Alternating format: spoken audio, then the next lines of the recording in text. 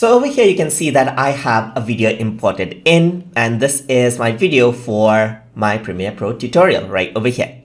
So now what we can do is in order to get precise controls, we can view the waveform from here and then we can view the thumbnails and the keyframes as well.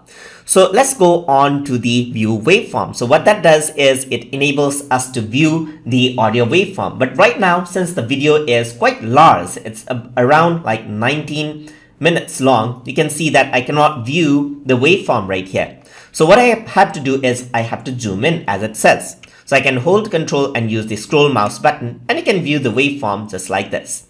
And then you can use the waveform as a point as a reference point to start cutting out. Let's say for, for, for example, right from here to here, you see the waveform, you can actually cut that out. So you can see that there's a pause right here because the waveform is not there.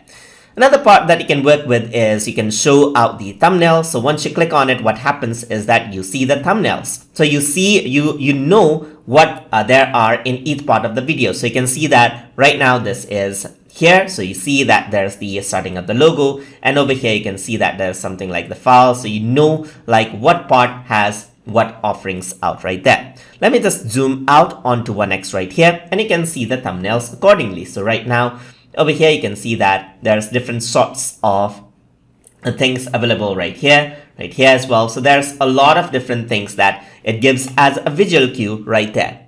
Let me just open out another video for this one. So let me just go on to my videos and go on to my San Francisco video right here. And if I were to see the thumbnail, you can see that right over here, you can see that there's the panning in and over here, there's another one.